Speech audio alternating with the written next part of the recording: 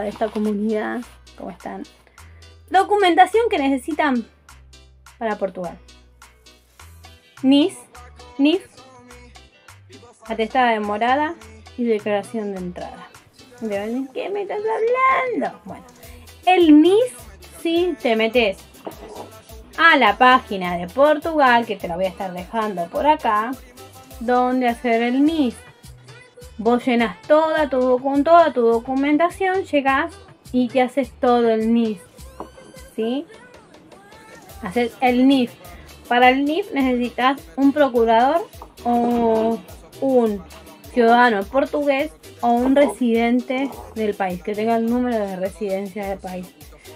El NIF solamente esas tres estatus de persona te pueden hacer eh, ese papel. O portugués o residente procurador. Y el procurador obviamente que va a ser o residente o portugués. no hay más que eso. Para poder hacer el NIS, que él también les voy a dejar acá. Eh, se necesita eso. O sea, el NIS lo puedes hacer desde tu morada, desde cualquier parte donde estés, te metes a la página y haces el NIS. Entonces, cuando vos llegas a Portugal, el NIS sale así rápido y el NIS por ahí tarda un poquito más. Pero si vos decís, yo tengo el pasaje para el 20 de mayo, listo. Te lo llenas y tenemos un mes para retirar la documentación. ¿Sí? Así que perfecto. Presten atención a todo esto. Atestada de morada. Se hace en la junta de freguesía más cercana donde estás mirando, viviendo. Chicos, otra vez, Google Maps. Todo esto yo no lo sabía. Caminamos los primeros dos días, seis horas, literal, porque fuimos al AIMA, el AIMA nos mandó, no, porque, ah, porque el CEF, todo entenderá, el CEF no, porque el CEF ya no está más, entonces que pasó toda la documentación al AIMA y el AIMA te dice, no, esto ya no se hace acá, entonces se hace, bueno, perfecto. Fuimos, llegamos a la Junta de Freguesía. ¿Dónde estaba la Junta de Freguesía? En la esquina de donde nosotros vivíamos. Así, así de loco, seis horas caminando. Tiki, tiki, tiki, tiki, tiki, tiki, tiki, tiki, ¿dónde, dónde, dónde, dónde? Porque tenés tres días para presentar eso, porque si no tenés multa. Sí, encima de eso. Entonces, es contrarreloj. Los primeros tres días no caminás, corres. Tranquilos. Tranquilos. Acá son muy tranquilos. Piense, piense, piense. Tranquilos, ¿sí? Tranquilos. No se desesperen. Van a los lugares, documentaciones, es lo más importante. Siempre vos vas con tu carpeta completa y ellos te hacen absolutamente todo, ¿sí? Entonces, para, para poder hacer la testada de morada en la junta de freguesía más cercana a tu vivienda, hostel, eh, habitación compartida, lo que sea, te lo puede hacer. El contrato de el contrato de, de alquiler, ¿sí? ¿Sí? Si tenés el contrato de alquiler. Buenísimo, si no tenés el contrato de alquiler, no pasa nada. Sí, no pasa nada porque eso eh, vos vas llenando la documentación. La declaración de entrada al país se hace en el GNR. ¿sí?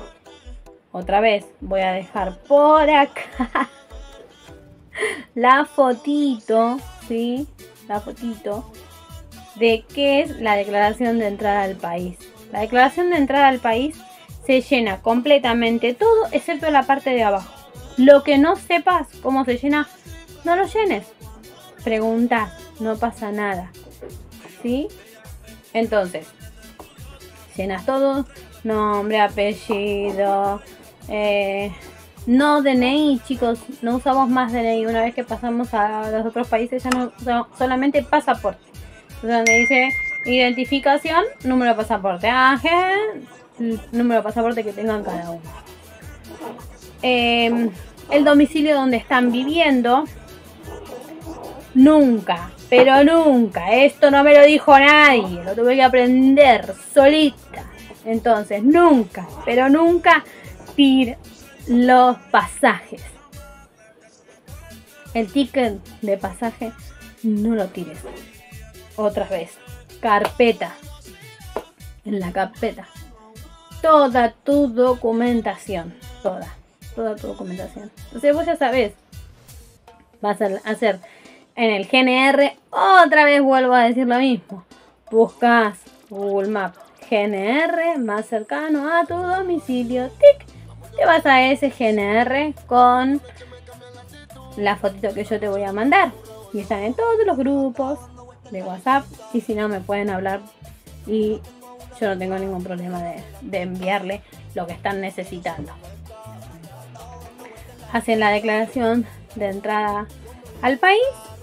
Una vez que hacen la declaración de entrada al país, eh, van a la junta de freguesía con declaración de entrada al país, pasaporte, eh, cuenta de banco, que ahora voy a ir a lo de, que es la cuenta de banco, cuenta de banco NIF, NIF, NIF, NIF, eh, NIF no te lo pides.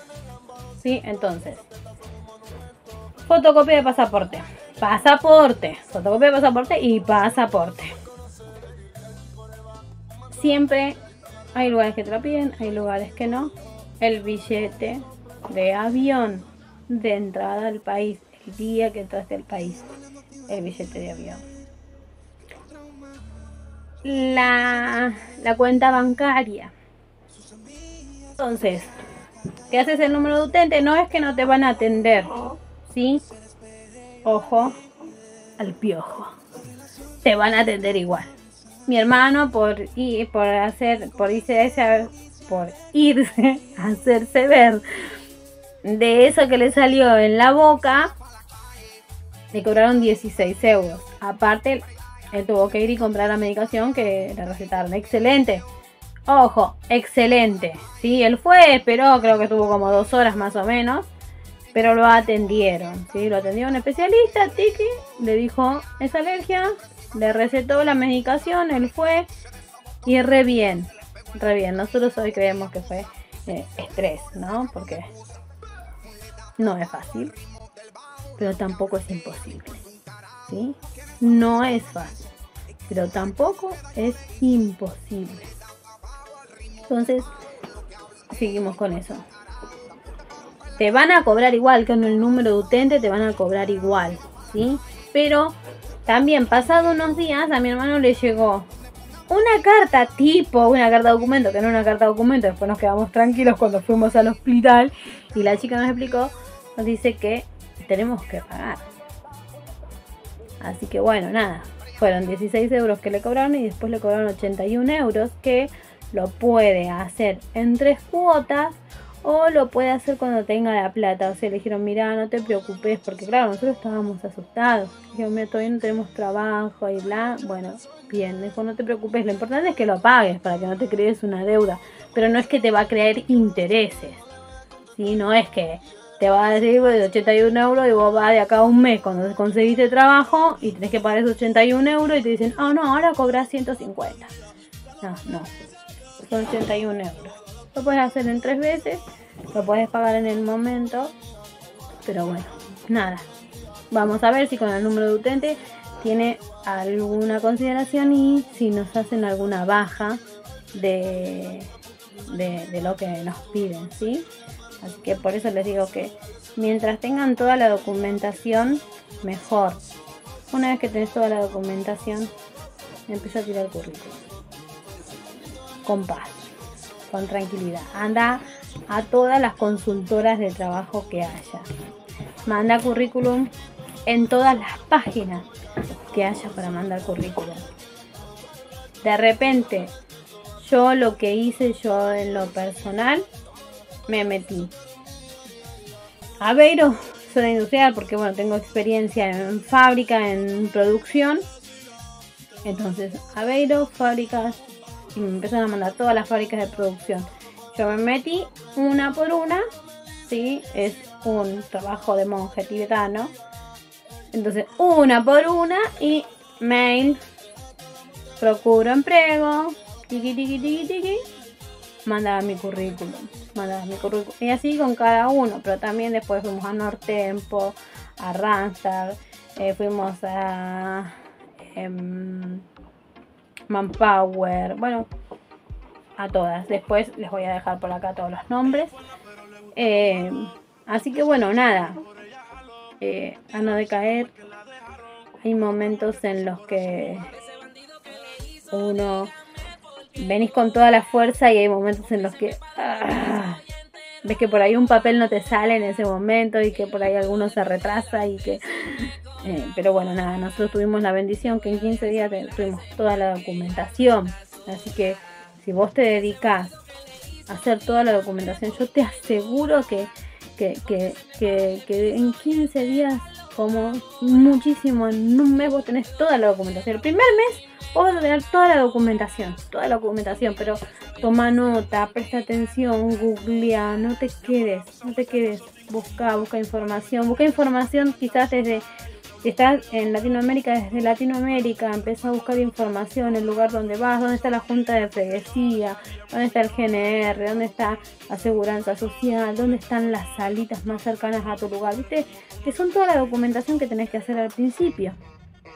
No es que tenés todo eso, cuando tenés la, la manifestación de interés, la tan bendita manifestación de interés y tan, eh, a ver, tan enfrentado esto que vos, para conseguir un trabajo tenés que tener la manifestación de interés. Y para tener la manifestación de interés tenés que conseguir un trabajo. Entonces vos decís, chicas, un trabajo y hola, sí, venga, déjame ah, ¿Tenés manifestación de interés? ¿O qué documentación tenés? Tengo NIS, tengo NIF, tengo atestada de morada, tengo em, eh, cuenta de banco abierta, tengo apertura de cuenta, tengo, tengo todo, ¿no? Tengo todo. ¿Tenés manifestación de interés? Em, no. ¿Hace cuánto que acá? Un. Ah, hace muy poco. Eh, sí, pero estoy buscando trabajo. Pero sin manifestación de interés no te podemos tomar. Pero sí, pero yo necesito un trabajo o una promesa de trabajo para poder hacer la manifestación de interés con el contrato que vos me podés dar a mí. Bueno, resulta que terminas haciendo otras cosas que también por privado se los puedo contar. Entonces, todas esas documentaciones, todas esas cosas, terminas teniendo todo manifestación de interés. Y empezó a buscar trabajo. Y si tengo manifestación de interés. Perfecto, listo. Tiki tiki, manifestación de interés. Ni, ni de demorada, declaración de entrada al país, apertura bancaria y manifestación de interés. Mi hermano y mi hija, eh, mi hija dos días después de tener la manifestación de interés eh, consiguió trabajo, empezó a trabajar ahora el 7 de mayo, mi hermano una semana después empiezo a trabajar mañana día lunes y falto yo y mi yerno. Entonces, no decaer.